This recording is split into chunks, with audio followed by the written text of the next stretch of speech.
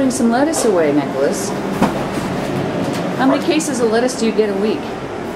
Well, we buy actually for uh, all the different animal departments, including pigs and uh, bunnies and birds. So, including those departments, we'll get in a big case like this of just regular romaine head lettuce. For instance, today we have seven for pigs. We'll get another shipment of probably anywhere between four and seven by the end of the week, Friday, just for pigs.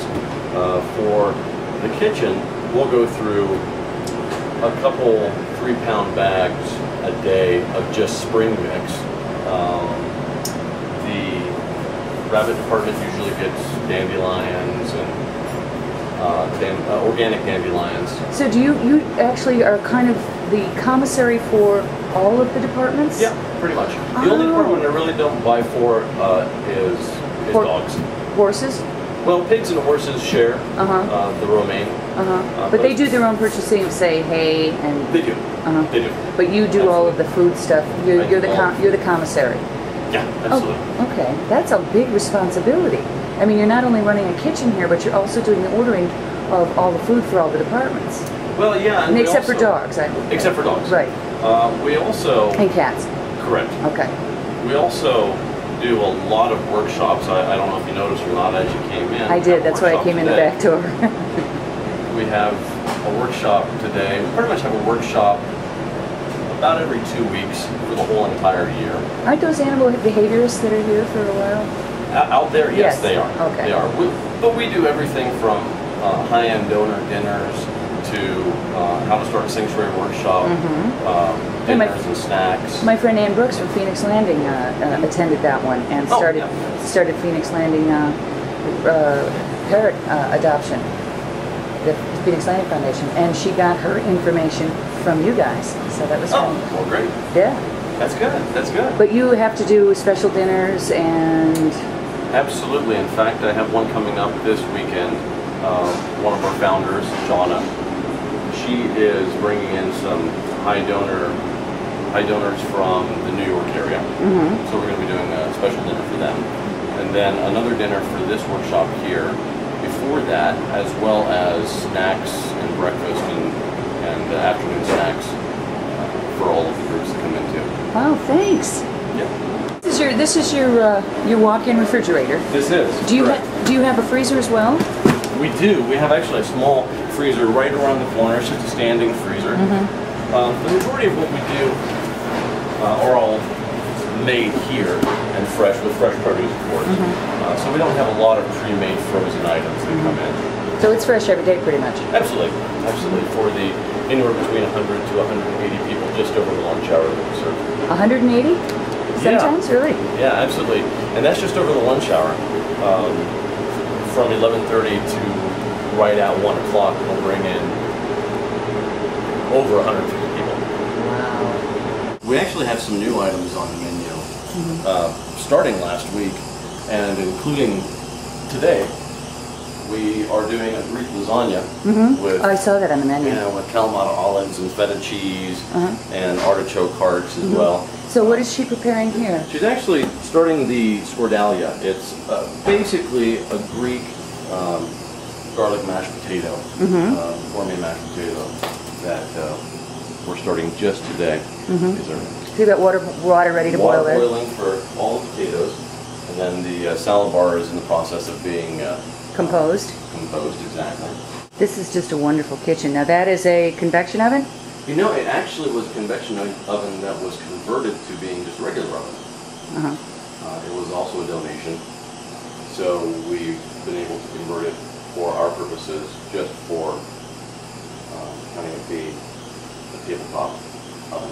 It's amazing you've got that three compartment freezer. It was a donation. This was a donation. Absolutely. Incredible that Yeah. you have so many items that Best Friends really does need. That, Oh, definitely. that you know, just with this, that, or the other thing, they can donate or inquire if it's something that that Best Friends might need. And all they have to do is send an email. Exactly.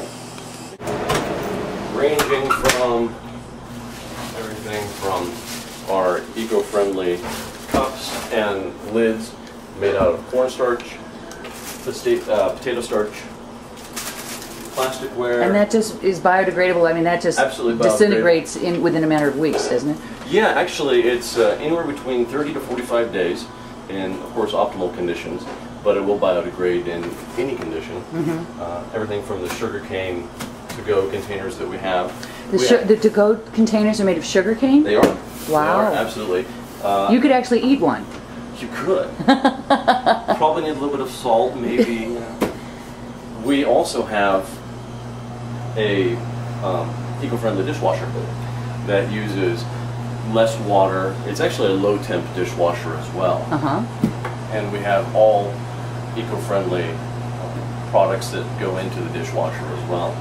So we do everything in our power to make sure that we're as eco-friendly as possible. And you don't leave as big footprint on the earth. Exactly. Wow, thank you. Exactly. Dishwasher here, and all of our chemicals and products are also eco-friendly. Um, That we have all our pot and pan detergents and sanitizers and that sort of thing Mm-hmm. that go in the low-temp dishwasher.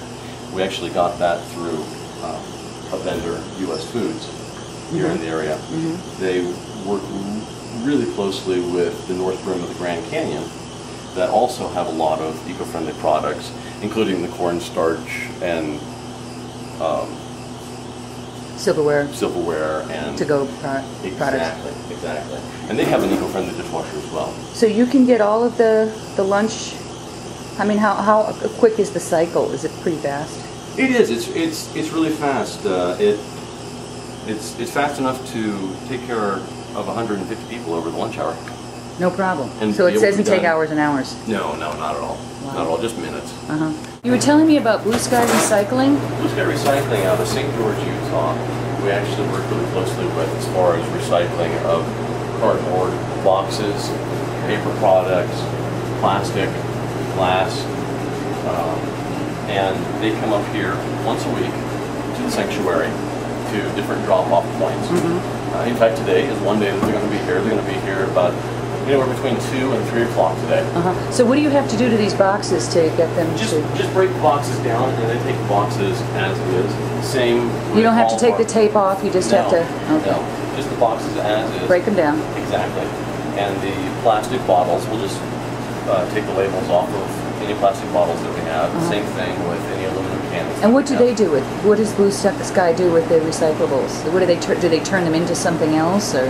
Um, to be honest with you, I'm not entirely sure where they go to after they go to Blue, Blue Sky Recycling. Mm-hmm. Um, but I anticipate that it's something along the lines of uh, recycling those to more products, like recycled paper products. Mm-hmm. Uh, some of our boxes actually that come in are made from recycled corrugated cardboard. So you're getting boxes you've already used? We're getting boxes that we've already used. In fact, um, you know, some of these products you see the recyclable, you know, contain, uh, label on there.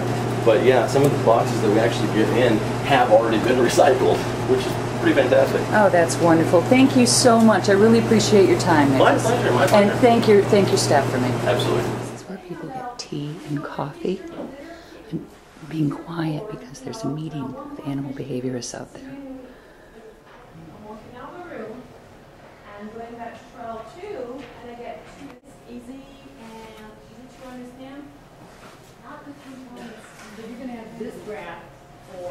top level, medium level, Top level, bottom level, cat, and, um, basically it's. The same cat. Yeah, same cat, 14 cats in a room. And then you just got to generalize. This is looking out to the parking lot of Angel Village.